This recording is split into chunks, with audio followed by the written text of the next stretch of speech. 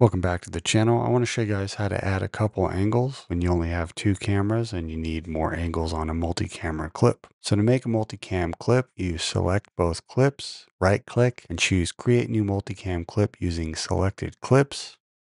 You can rename it, call it multi. For angle sync, I'd suggest using sound channel, go for mix in case one of the channels isn't responding. And then optional, you could move source clips to originals bin. I selected that off and then hit create.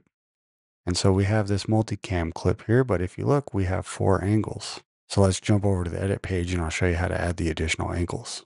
So from your bin here, you can actually open up your multicam clip in the timeline.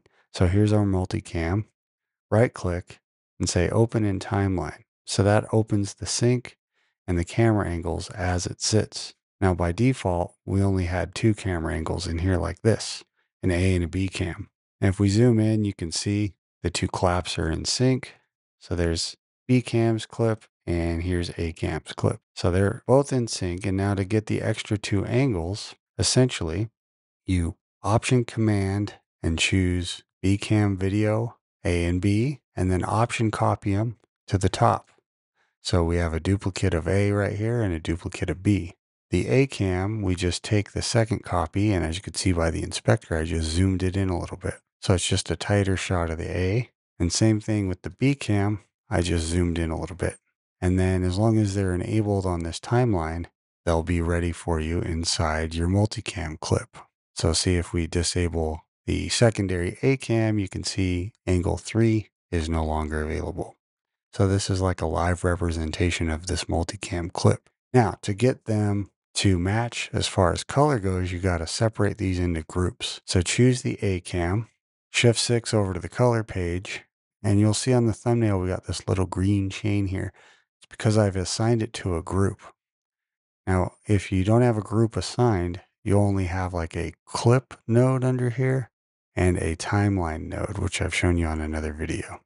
But when you make them group clips, you'll get the pre and the post clip. So how you do that is, so you right click on the thumbnail and then you say add into new group and you can name the group whatever you need. I already named an A and a B cam.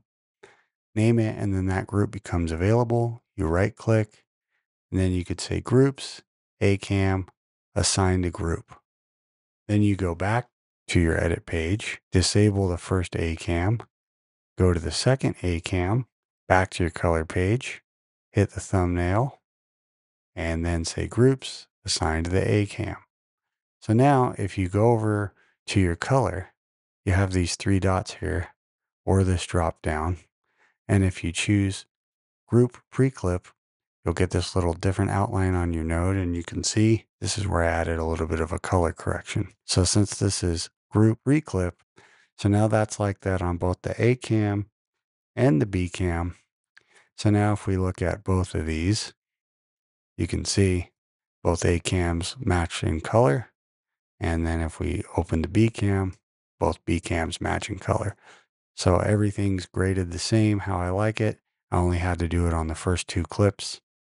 So now we're done with the multicam clip timeline. So we can shut that down. Now I have one called Multicam Edit. You could see it says angle 1, angle 2, angle 4. So what you do is you get your dual screen viewer up here. You grab your multicam clip and drop it into your preview source monitor. And then very important on the drop down, choose multicam. And then as you go through, if you want to switch clips, so here I went to angle 2 right there, you just click on that and there's a little blade that pops up when you hover over any of the clips. So if we wanted to switch this clip to say clip three, we would hit it, it would make a cut and switch. Since I'm not on there, I'm going to go ahead and hit option. You can see it turns to a little film strip and that'll replace this clip with angle three. So now we have these two and they're still all in sync as you can see. Now if we wanted to cut right here where the playhead is, I can just choose a different angle and we'll go angle two. Now you can see in the timeline that switches over. So now we have these two extra angle options. And then just keep in mind that this preview window doesn't actually show the zoomed in versions. So angle three and four are the zoomed of each the A and B. But when you get to the timeline, you can see angle four is this close up version of the other one. And it highlights it in blue with whatever one you happen to be on.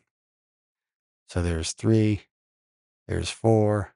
If we go back to angle one, so you can see that it switches back and forth to the zoomed in versions appropriately, even though it doesn't reflect it right here on the preview window. All right, that's how you can add extra angles and color them up with the group setting. Hope that helps. Thanks for watching as always, and I'll talk to you guys on the next video.